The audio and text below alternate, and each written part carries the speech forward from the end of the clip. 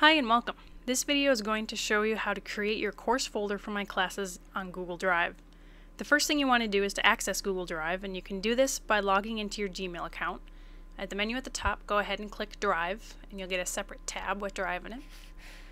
Go down to the red Create button on the left side. Click on that and then scroll down to the gray folder icon. When you do this, you'll get a box where you're able to make a title for the folder.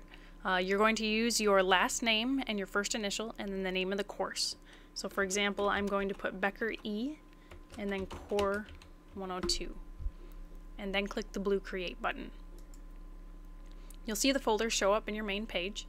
The next thing you need to do is to share this with your instructor so that your assignments get turned in. To do this, click on the checkbox next to the name of the folder. You'll notice up here that a lot of buttons appear that weren't there before.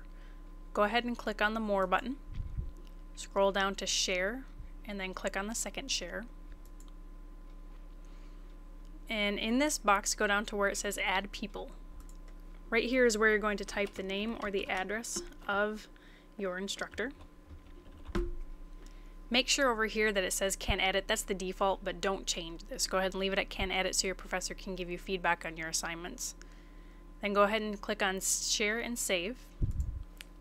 You'll notice your instructor appears on the list above, and then click the blue Done button. Now you'll notice up here that your folders look a little bit different. This first one here has a little silhouette in the folder, and the one down here is a solid color. If your folder has a silhouette in it, that means it has been shared.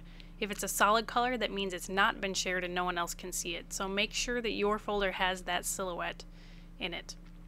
Now one of the other things that students often ask me is how to change the color of the folder in Google Drive. Uh, when you change the color, it will change it only on your end, not necessarily who you have it shared with, but you can change the colors for what you see. So to do this, go ahead and click the checkbox next to your folder. Again, you'll notice these buttons will appear up at the top. Click More. Scroll down to Change Color. And then you'll have various options down here. Go ahead and pick the one that you would like it to be. And you'll notice that the color of your folder is now changed.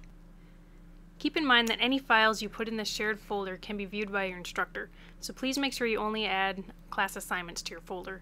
To turn in your class assignments, all you have to do is place them in this folder. I explain how to do this in another video.